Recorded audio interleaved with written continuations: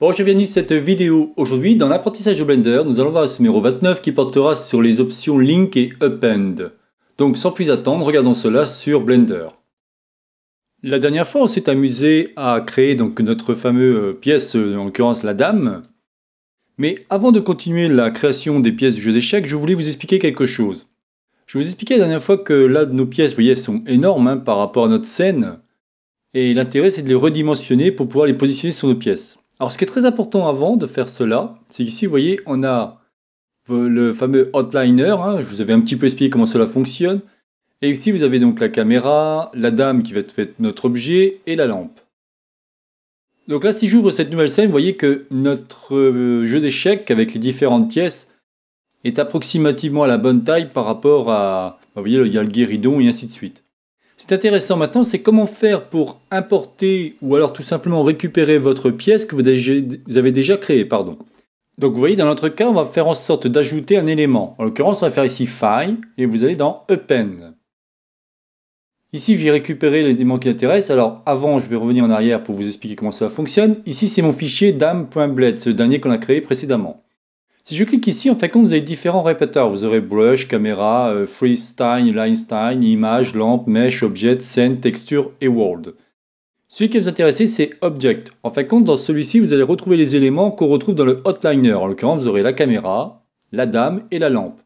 L'intérêt, c'est que vous voyez aussi de ma caméra, rappelez-vous, j'ai pris un plane pour après l'extruder afin de créer par le biais de l'outil euh, spin, ou la fonction spin. Donc c'est bien un plane, je l'ai renommé, je l'ai appelé dame. C'est pour ça que je disais la dernière fois dans le niveau du hotliner, c'est très important de le renommer, de renommer vos objets car sinon vous ne saurez plus où vous en êtes. Si on prend la différence ici entre object et mesh, c'est simplement qu'un objet est composé de plusieurs, on va dire plusieurs mèches. Là aussi je l'ai renommé dame, j'aurais pu le renommer autrement. Donc je reviens ici, je vais dans objet et je clique sur dame tout simplement. Là je fais open from library. Et vous voyez, automatiquement, celui-ci est énorme. Donc là, il suffit d'appuyer sur S et vous allez tout simplement redimensionner celui-ci. Oh, je fais ça très vite hein, pour vous montrer. Hein. Hop. Là, on va se mettre à peu près ici. On va se mettre cette fois-ci en vue de dessus en ortho. On va se mettre à peu près là. On va se mettre comme ça. Et on va dire que c'est bon. Bon, la pièce est bien plus grande, mais c'est pas très grave. C'est juste pour vous expliquer le principe. Quelle est la différence Alors là, je vois que je suis en Blender 5 heures, on va se mettre plutôt comme ça. Voilà. Quelle est la différence pour vous entre Link et Append ben, Je vais vous expliquer. Le Append, en fin de compte, va ajouter votre élément. Donc là, imaginons que vous avez créé votre pièce. En l'occurrence, ici, c'est la pièce du jeu de dames. Vous voulez l'ajouter. Très bien. Vous pouvez, si vous le souhaitez. Regardez, je me mets en mode ici. Voilà. Je vais sélectionner ça. Par exemple, je vais sélectionner ici. Non, pas ce que je voulais. C'est voilà. Et là, je fais un, mettons, ES, histoire de faire une extrusion comme ça. Bon. Hop, parfait. Là, en fin de compte, ma pièce, j'ai pu la modifier.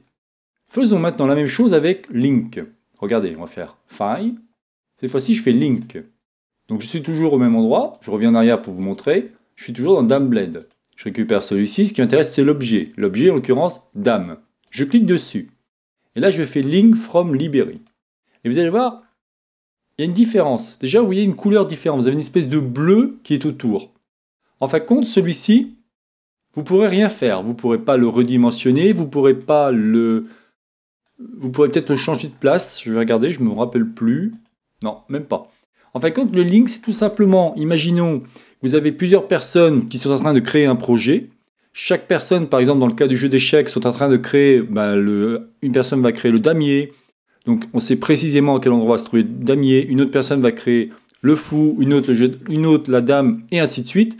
Bah, chaque pièce, en fait compte que vous avez linké, va être linkée par rapport au projet source. En l'occurrence, le répertoire qui était euh, dans un endroit bien précis. Donc si on regarde la différence entre le link et le append, bah, c'est très simple. Le link, c'est tout simplement un lien, on va dire, vers, vers le projet où la personne a créé son, sa pièce. Vous ne pouvez rien faire, vous pouvez juste la récupérer et celle-ci se remettra précisément là où la personne l'a créée. Et vous pouvez le voir de suite qu'ici je ne peux rien faire, je ne peux pas redimensionner. Si je fais tabulation, il ne veut rien faire.